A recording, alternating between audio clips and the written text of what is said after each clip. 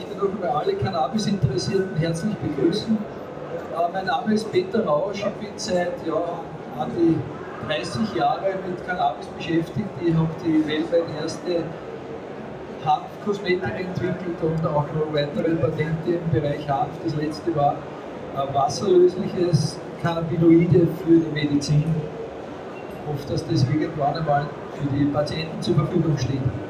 Mein Thema Cannabinoide in anderen Pflanzen und ich habe das erweitert auf Pflanzen und Organismen, weil nämlich nicht nur Pflanzen Cannabinoide entwickeln, sondern auch andere Organismen, unter anderem auch wir Menschen. Wir haben ja sogenannte Endokannabinoide in unserem Körper, sonst würden wir nicht funktionieren. Wir könnten nicht leben ohne die körpereigenen Cannabinoide. Meine Frage ist, was sind Cannabinoide? Was verstehen Sie unter dem, dem Begriff Cannabinoide? Können Sie mir das irgendwie sagen, was Sie da verstehen?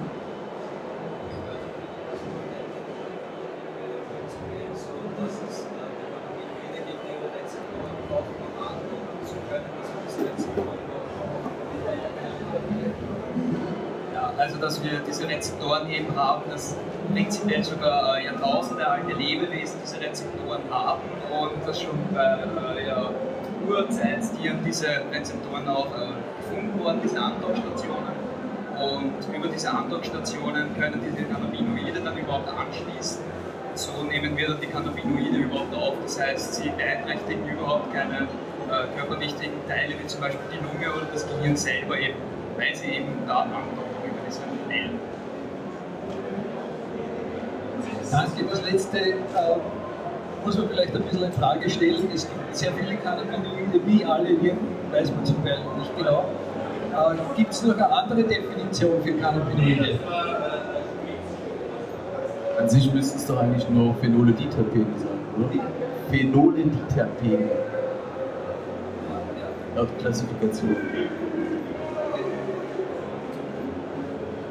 Irgendjemand, der Cannabinoide definieren möchte oder könnte.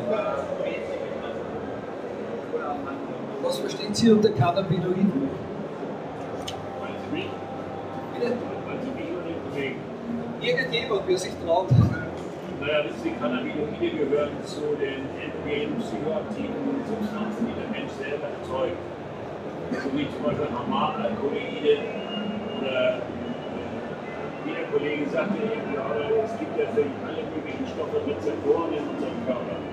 Zum Beispiel ist das Gehirn ja vollgepackt mit Valiumrezeptoren, sonst wäre einfach ein Schluck oder Essland schon totaler Angst und Todesangststress für uns. Also eine pharmakologische Definition sozusagen. Äh, eine pharmakologische ja. Definition mit entheogener Komponente. Das heißt, ich betrachte diese Substanzen auch als Teil des Körperlichen mir. Wenn ich sie selber synthetisiere, falle ich niemandem zu Last, mache alles und bin ein edler Mensch und äh, mache zu der Natur nichts Böses, sagen wir mal so. Ja, Auch meinen Mitmenschen sowieso nicht. Ja, wir könnten gar nicht leben ohne, unsere eigenen Unsere eigenen guten Freunde, ja. Danke. Und auf denen abfahren haben wir Pech. Also ich sehe schon, die Definition von Cannabinoiden wird eigentlich auch schon sehr äh, unter Anführungszeichen modern äh, gesehen. Es hat eine Definition gegeben, die auf Hanfcannabinoide abgestimmt war. Und deswegen gehe ich nämlich auch darauf ein, früher war die Definition Cannabinoide Hanfinhaltsstoffe. Derer gibt es ja sehr viele, 60, 70 oder mehr, die man bis jetzt entdeckt hat an Cannabinoiden, ja, die aber nicht alle auf die Cannabis-Rezeptoren wirken. In der Zwischenzeit weiß, wir, weiß man, dass wir eigene körpereigene Endokannabinoide, sogenannte Endokannabinoide haben, die auf die Cannabis-Rezeptoren wirken und derer gibt es viel, viel mehr in der Natur und auch auf synthetischer Basis. Und deswegen möchte ich darauf eingehen, noch einmal auf die Cannabinoid-Definition. Und zwar Cannabinoide sind Substanzen in, für meinen Begriff jetzt, die auf, in meinem Vortrag jetzt, die an Cannabis-Rezeptoren anblocken und binden. Ja? Und da ist eine ganz wichtige Sache. Binden alleine genügt nicht, sondern was bewirken sie am Rezeptor? Da gibt es äh, einfach gesagt zwei Möglichkeiten. Einmal, sie binden einen Rezeptor und lösen eine Reaktion aus. Das sind die sogenannten Agonisten. Das ist ganz wichtig zu merken, jetzt auch für den weiteren Vortrag. Und es gibt welche, die binden genauso an den Rezeptor an, bewirken aber keine Wirkung, sondern blockieren nur den Rezeptor. So quasi wie wenn man einen Schlüssel in, einen, in ein Türschloss steckt, ja, einmal geht die Tür auf, aber es gibt auch Schlüssel, die gehen zwar rein, aber man kann nicht aufsperren. Das heißt, sie blockieren dann das Tor, die Tür, um, eine, um, um reinzukommen, um eine Aktion, einen Effekt zu haben. Und das ist ganz wichtig. Also Rezeptor Agonisten, eine Wirkung bewirken, und Antagonisten. In der Natur ist es allerdings noch viel, viel diffiziler. Also der Körper hat ja da wirklich alles ausgeschöpft. Die Natur, da gibt es ähm, reverse Agonisten, reverse Antagonisten und so weiter und so fort. Auf das wollen wir nicht eingehen, das ist ein Spezialgebiet, ja, das sehr viele Wirkungen auch von Cannabis in weiterer Folge erklären würde. Aber wichtig ist, Agonisten, der Agonist erzeugt eine Wirkung, der Antagonist blockiert den Rezeptor. Meistens ist es so, wenn ein Antagonist verabreicht wird, der blockiert dann unsere Rezeptoren im Körper und die körpereigenen Cannabinoide können auch nicht wirken. Ja? das ist dann eine andere Reaktion, also nicht das, was zum Beispiel der Cannabis-Genießer eigentlich haben will, eine psychische Wirkung, das findet dann nicht statt. Ja, äh, eine Einteilung ist dann natürliche Cannabinoide, da haben wir die sogenannten Endokannabinoide.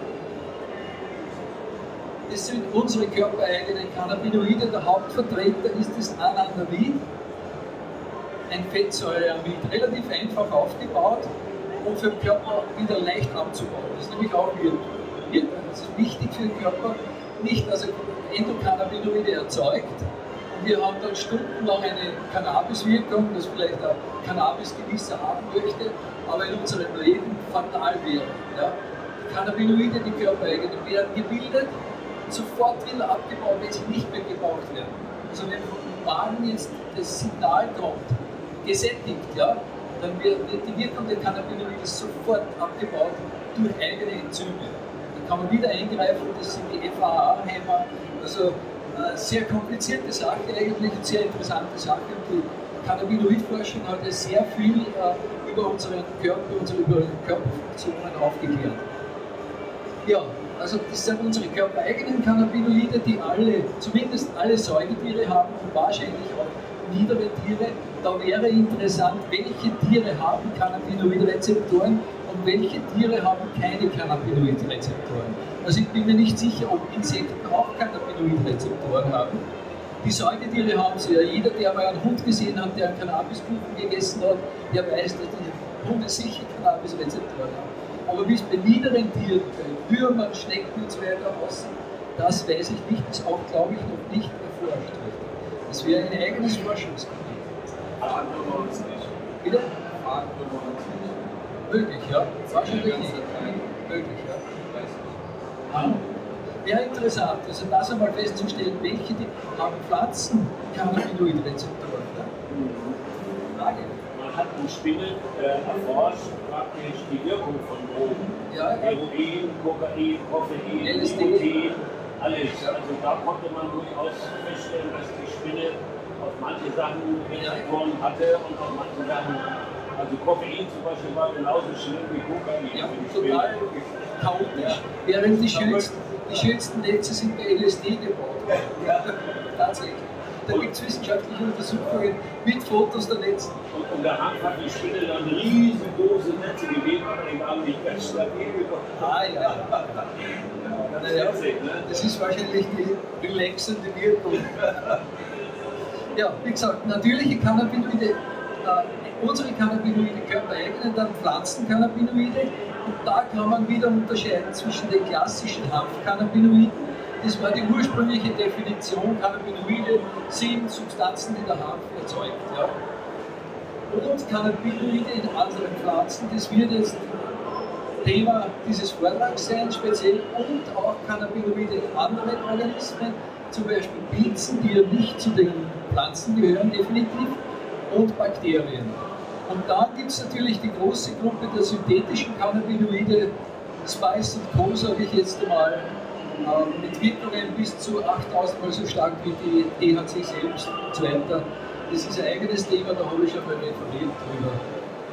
Ja, gehen wir weiter. Eines der weit verbreitetsten Cannabinoide ist das sogenannte Beta-Caryophyllene. Die Formel sieht so aus, ist eine terpenartige Verbindung, wie ich zuerst gesagt habe. Und die kommt in sehr vielen ätherischen Ölen vor. Die ist wasserdampfflüchtig, das heißt, wenn man jetzt eine Pflanze äh, destilliert, die Caryophyllene drinnen hat, dann hat man das in ätherischen Ölphase hat man das drinnen. Und das hat, die Wirkung ist äh, CB2-Rezeptor-Agonist. Ja. Es wirkt entzündungshemmend und ist in sehr vielen, äh, vor allem äh, verschiedenen Gewürzen enthalten. Gewürzen wie Basilikum, Rosmarin, Zimt, Oregano, Kümmel und Pfeffer. Und vielen, vielen anderen ätherischen Ölen, auch im ätherischen Öl vom Hanf ist es ein Hauptbestandteil. Also der Hanf hat nicht nur die klassischen Cannabinoide, sondern auch das Caryophyllene im ätherischen Öl noch drin. Also wird wahrscheinlich der ätherische Ölgehalt von Haschisch oder Marihuana auch ein bisschen einen Einfluss haben auf die Wirkung letztendlich. Ja, also eine sehr weit verbreitete äh, äh, Substanz, die allerdings äh, medizinisch noch nicht restlos erforscht ist. Aber CB2-Rezeptor aktivierend, also Agonist, heißt entzündungshemmend. Und es gibt zum Beispiel auch äh, hier eine Publikation, das ist vom Juni 2008, Pizzagewürz Oregano hilft gegen Entzündungen. Also es haben schon Ärzte oder Naturheiler festgestellt, dass der Gehalt an Caryophyllene entzündungshemmend wirkt. Interessant ist auch, dass dieses Caryophyllene von Maispflanzen gebildet wird und zwar als Lockstoff für, diese, für sogenannte Nematoden, das sind äh, räuberische, äh, das gehören glaube ich nicht zu den Insekten, niedere Tiere, die den Maiswurzelbohrer praktisch fressen. Also die Maispflanze äh, bildet das Caryophyllene, um die Räuber anzulocken, die dann ihre, ihre Feinde sozusagen vernichten. Das ist ganz interessant.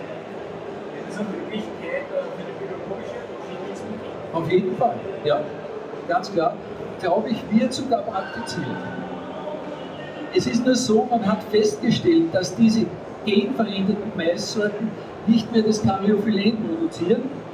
Und da braucht man jetzt wieder die ganzen äh, Insektizide und so weiter, die den, den Maiswurzelbohrer eliminieren. Ja.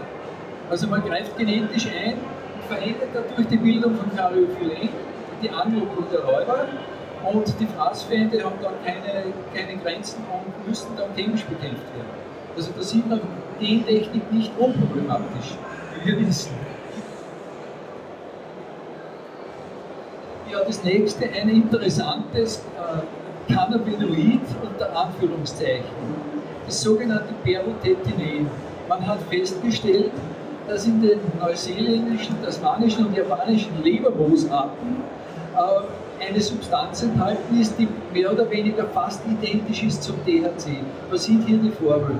Der Unterschied ist nur dieser Phenylring am Ende dieser Kette, Kohlenstoffkette. Und das ist auch wissenschaftlich erforscht worden. Es ist sogar der Gehalt bestimmt worden, 0,55 oder 0,19 Prozent in diesen äh, Lebermoosarten, in diesen beiden. Und es gibt aber keine pharmakologischen Angaben über die Wirkung dieser Substanz. Was natürlich sehr interessant wäre, weil es ja THC-ähnlich ist. Das Einzige, was ich gefunden habe, war in verschiedenen Internetforen, äh, gibt es Berichte darüber, es haben sich äh, Personen diese Leberrose besorgt und haben sie geraucht, haben aber keinerlei Effekt dabei feststellen können. Also dürfte diese Phenyl, dieser Phenylring dürfte doch die Wirkung ziemlich oder total eliminieren, leider Gottes. Also das ist zwar sehr ähnlich wie THC, fast identisch, aber hat keine Wirkung. So viel man bis jetzt weiß. Aber es ist interessant, dass äh, solche Wirkungen auch in der Pharmaliteratur schwer zu finden sind. Also es ist nicht so einfach, äh, aus welchem Grund man das macht, vielleicht damit man es nicht als Droge gebrauchen kann, nicht. Ja, kommen wir zu einer anderen Pflanze, und zwar das ist eine äh, eine Hülsenfruchtpflanze, die hat ähnlich Macarium multiflorum aus Südamerika, aus dem Amazonasgebiet. Die hat ebenfalls, das ist die, die Formel jetzt bisschen gedreht, da es dreht, fast identisch mit THC. Ebenfalls diesen Phenylring und äh, da fehlt eine Doppelbindung, ja, und hier ist auch eine Doppelbindung zusätzlich. Wurde aber festgestellt bei diesen beiden Verbindungen, dass keine Wirkung vorhanden ist, keine Rezeptorwirkung auf den Cannabis-Rezeptoren.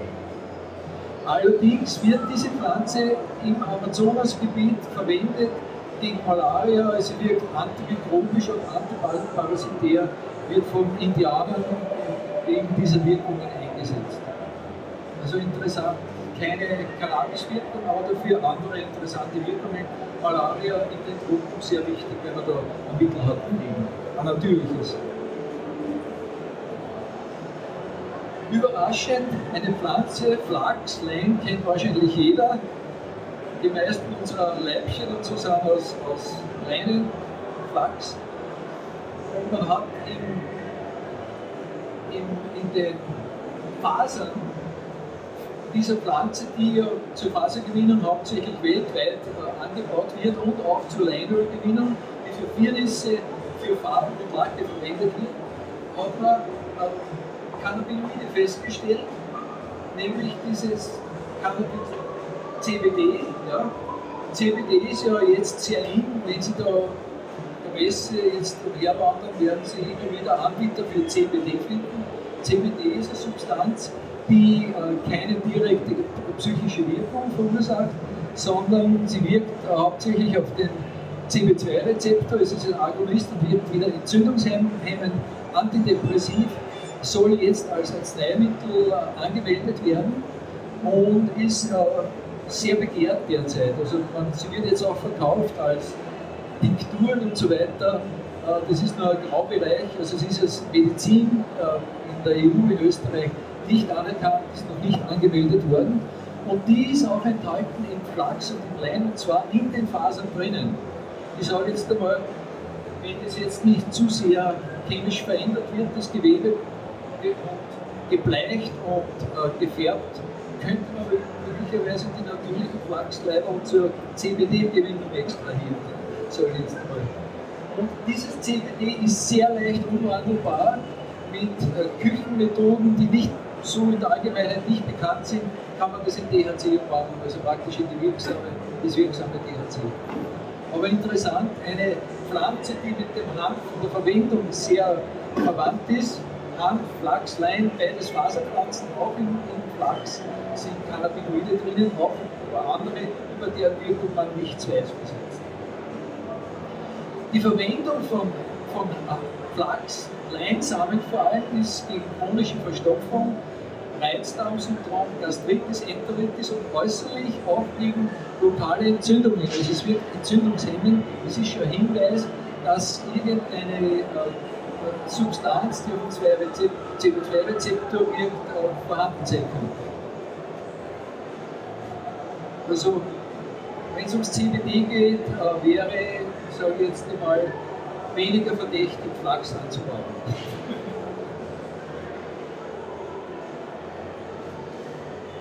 Weitere Pflanzen, die Cannabinoide enthalten, sind Rhododendronarten aus Südchina, Rhododendron, das sind Heidekrautgewächse, die wir auch einige in den Alpen haben.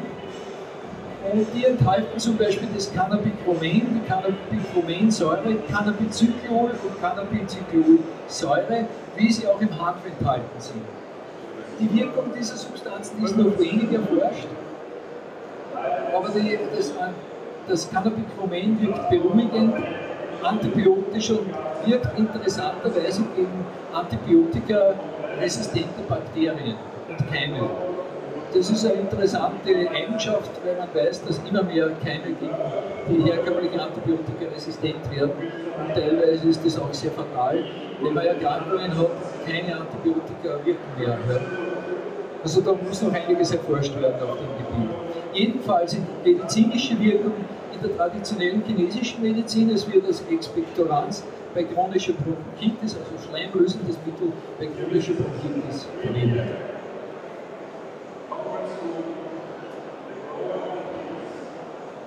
Weitere interessante Gruppe sind die Schein-Indigo-Arten, Amorpha, Fruticosa, Lana und Calescens. Das sind wieder Hülsenfrüchte. Die enthalten wieder Cannabinoide genau wie sie im Hanf vorkommen. Äh, sie sind aus Nordamerika und enthalten Cannabigerol und das Amorpha-Stilpol, also das, sind, äh, das ist jetzt nur in diesen Pflanzen, aber das Cannabigerol selbst ist auch im Hanf enthalten. Es ist ein CB1-Rezeptor-Antagonist, das heißt, es wirkt gegen die, die Wirkung im CB1-Rezeptor. Das heißt, wenn man Cannabigerol äh, einnimmt, dann wirkt äh, Marihuana oder THC nicht mehr, weil der Rezeptor blockiert wird. Dafür dürfte es gegen Hunger wirken. Es senkt den Augeninnendruck, den Blutdruck und den Augeninnendruck, was in der, in der Augenmedizin interessant ist und wirkt wiederum entzündungshemmend. Also man sieht sehr viele Cannabinoide wirken entzündungshemmend. Ja, das, das Amorphosphingol besitzt Bindungsabfinität zum CB2-Rezeptor wieder ähnlich wie das CBD.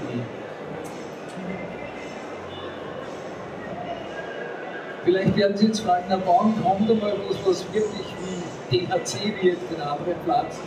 Vielleicht gibt es etwas. Schauen wir mal interessante ostafrikanische Strohblumen. Strohblumen und Heligrüßum kommen auch im Mittelmeergebiet vor, haben auch ätherischen Öl gehabt. Und in Südafrika werden die auch medizinisch verwendet, weil sie wundheilend und antimikotisch sind. Man hat die genauer untersucht. Es ist wieder das Cannabigerol drinnen Cannabigerolsäure an Cannabinoiden. Jedenfalls, wie gesagt, Entzündungshemmend. Das wird medizinisch schon seit langer Zeit in Südafrika verwendet. Jetzt eine ganz bekannte Pflanze, Echinacea. Man hat sehr lange nicht gewusst, wie ist das Wirkungsprinzip von Echinacea. Es ist in der, in der Naturmedizin schon lange verwendet worden bei Erkältungen zur Stärkung des Immunsystems.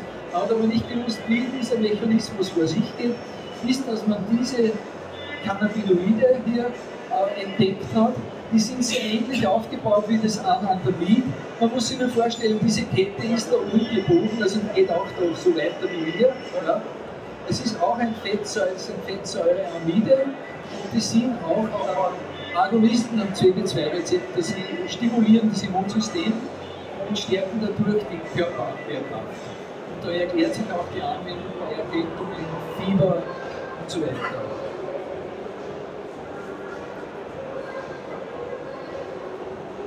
Äh, ganz ähnlich schaut es aus bei den Sonnenaugen. Das sind ebenfalls Korbblütler, auch aus den USA in die äh, Echinacea gebürtig.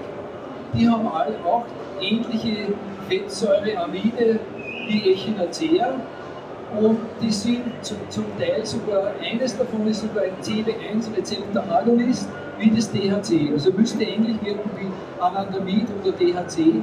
Nur ist es noch nicht so genau untersucht, wie hoch da die Dosis ist und so weiter und in welchem Prozentsatz es in der Pflanze vorkommt. Ja. Aber das wäre sehr untersuchungswürdig ja, als Cannabisersatz. Also die Wirkung ist am Cannabisrezeptor CB2, CB1-Rezeptor, diese Substanz, ebenfalls dann entzündungshemmend wie Echinacea, ähnliche Wirkung wie Echinacea. dann kommen wir zu den Xanthoxylum bullianum. Das ist ein Gelbholzgewächs aus, dem, äh, aus China und Bhutan, also südliches China. Das enthält eine ganz interessante äh, Substanz auch, wieder ein Fettsäureamid, ähnlich wie das Anandamid. Es wirkt allerdings äh, auf dem CB1-Rezeptor als Antagonist, also verhindert psychische Wirkungen ist dafür CB2-Rezeptor ein Agonist. Also wirklich ein interessantes Medikament ohne psychische Nebenwirkungen, wenn man es einsetzen würde. In der traditionellen chinesischen Medizin wird es zur Behandlung von Fieber und Asthma verwendet, also auch ein Hinweis auf entzündungshemmende Wirkungen. Also die tausend, tausende Jahre alte chinesische Medizin hat das hat schon lange erkannt, wie man diese Pflanze verwenden kann.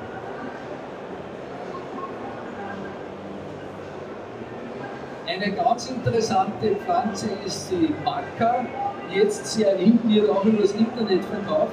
Es ist so etwas ähnliches wie ein äh, Ginseng, wie ein Super Ginseng. Man hat ganz interessante Wirkungen festgestellt, also allgemeine positive Effekte auf die körperliche Leistungsfähigkeit, speziell bei Stress, Überarbeitung, Burnout und psychische Belastbarkeit und vor allem auch bei sexuellen Funktionsstörungen. Also es ist eigentlich ein natürliches Potenzmittel. Wird jetzt sehr viel verwendet, es wird über das Internet angeboten und auch in Apotheken. Und interessanterweise enthält es auch wieder solche äh, Fettsäureamide, ähnlich wie das Anandamid ist. Und interessant dabei ist eine Verbindung, nämlich diese hier, die sind teilweise noch gar nicht benannt, also die haben keinen trivialen Namen oder sowas, sondern nur wirklich eine, äh, die komplizierte chemische Bezeichnung. Und das hat zum Beispiel, das ist ein CB1-Rezeptor-Agonist, es wirkt auf den CB1-Rezeptor ähnlich wie das THC, also könnte gleiche psychische Wirkungen hervorrufen und wirkt auf der anderen Seite als FAAH-Antagonist. Das FAAH ist das Enzym, das Cannabinoide äh, deaktiviert, unsere körpereigenen Cannabinoide. Das heißt, es macht zwei Fliegen auf einen Schlag. Es wirkt als Agonist am CB1-Rezeptor und verhindert gleichzeitig, dass äh, Cannabinoide abgebaut werden. Also es müsste eigentlich eine intensive Wirkung haben, sage ich jetzt rein theoretisch. Das müsste, das wäre untersuchungswürdig. Ich habe nichts gefunden an pharmakologischen sonstigen Wirkungen in der Literatur.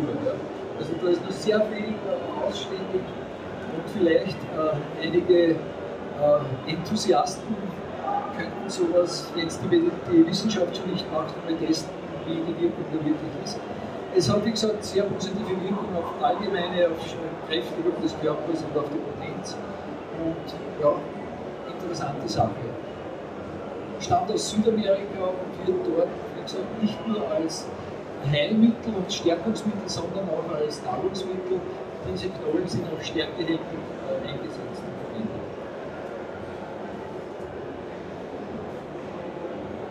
Ja, da gibt es sogar Magnolien, die ganz interessante Inhaltsstoffe haben. Und zwar diese Magnolia officinalis, die stammt ebenfalls aus China und die enthält mehrere Verbindungen, Magnolol und Tetrahydromagnolol, dann gibt es noch andere Magnolol-Derivate.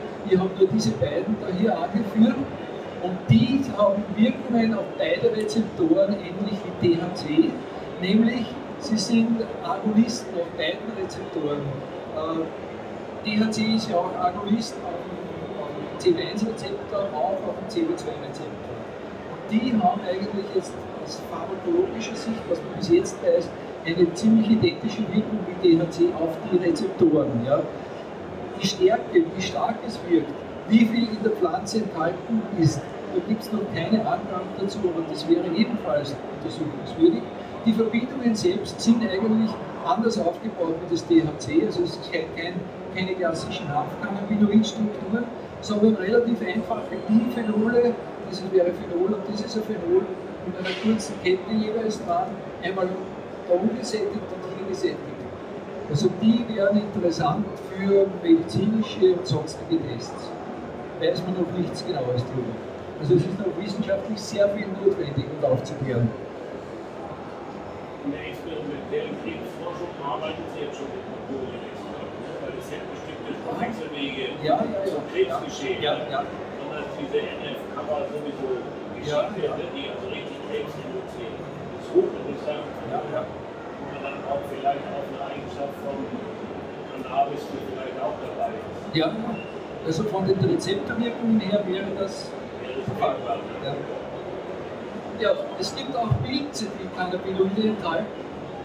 Und da wieder oben ein ganz bekannter Pilz ist der klassische Schimmelpilz. Der bildet nicht nur die sogenannten Aflatoxine, die ja giftig und krebserregend sind, sondern auch Substanzen mit Cannabinoidwirkung. Dieser Inhaltsstoff ist ein CB1 und CB2-Rezeptor-Agonist wie das THC. Ja? Also vielleicht sollten die, die Grower von Hanf auf Schimmel umsteigen. Ist sicher einfacher zu züchten, nur die Isolation wird schwieriger sein. ist klar, aber es wäre sicher sehr billig. Also Schimmel. Ja, normalerweise wird der Schimmel nicht äh, geschätzt, wenn Haftpflanzen im Reifestadium zum Schimmel beginnen, ist die Wirkung dann reduziert oder überhaupt wird die eliminiert.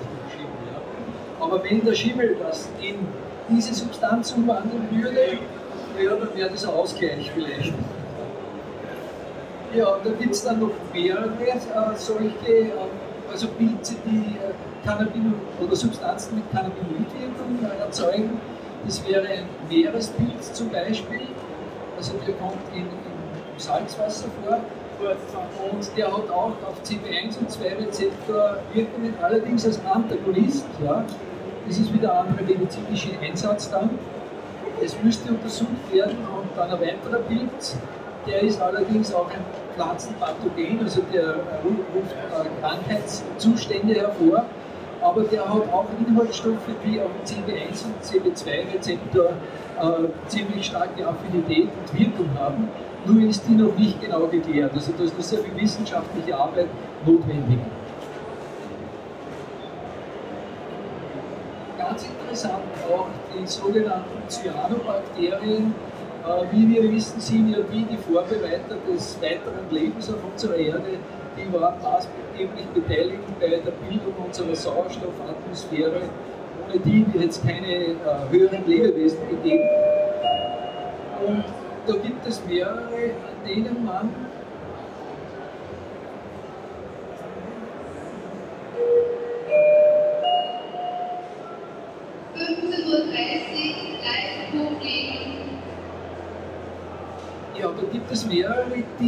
cannabinoide Substanzen erzeugen.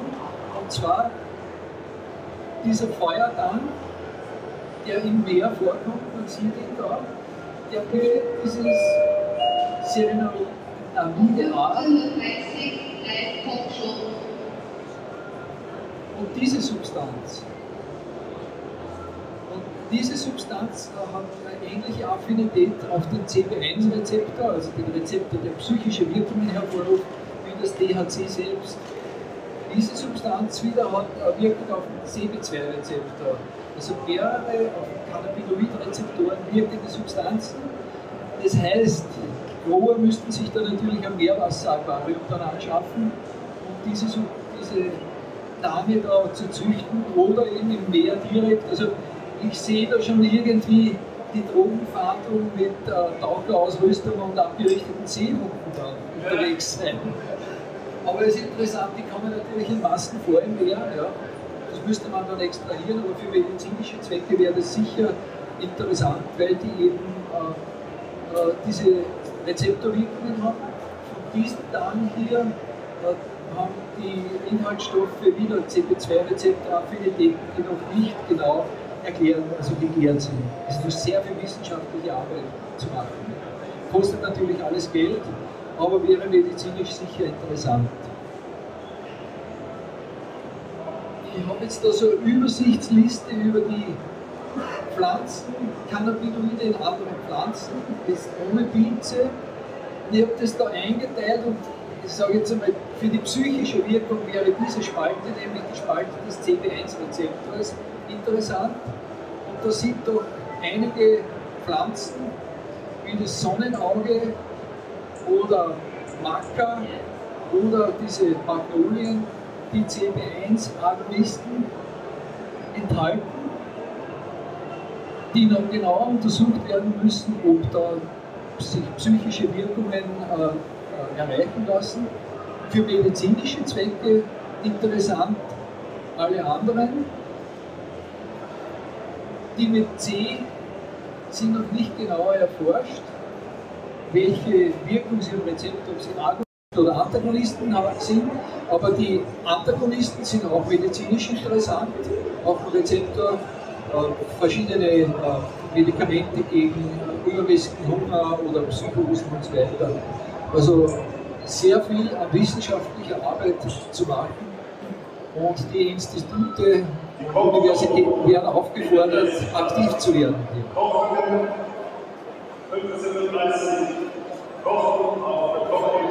Ja, das wäre es Wenn Sie fragen, das ist es ja, ich muss dazu sagen, das ist jetzt äh, Stand der heutigen Technik, so viel ich herausgefunden habe, es gibt ständig neue äh, Entwicklungen und Forschungen auf dem Gebiet. Ich weiß nicht, ob alles publiziert wird. Man will ja verhindern, dass Leute Cannabinoide äh, konsumieren. Ja. Also die Wissenschaft ist da auch nicht so offen in, in allen Bereichen, aber es kommen immer wieder neue Forschungen und Ergebnisse dazu und es tut sich einiges auf dem Gebiet. Ja, danke für Ihre Aufmerksamkeit.